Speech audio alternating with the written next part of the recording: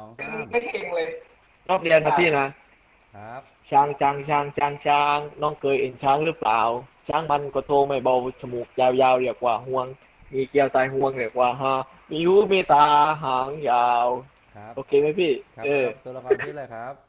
มีห่วงใต้หางมีห่วงใต้หาพี่งตาตาโรเบิรืตตา กลมวะทั้งสองเลยพี่ โอเค